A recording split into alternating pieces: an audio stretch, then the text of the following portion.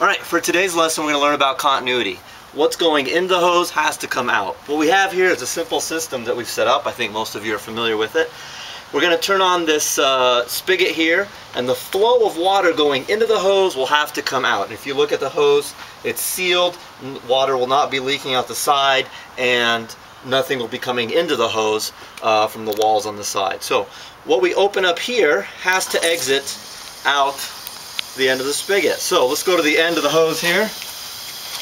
All right, what we have now is the water flowing out of the end of the hose at the same rate that it's flowing in.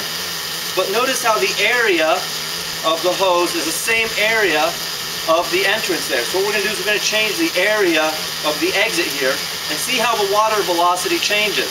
So what I'm going to do is I'm going to put my thumb over the end of the hose, change the area, and we will accelerate the flow to a new velocity.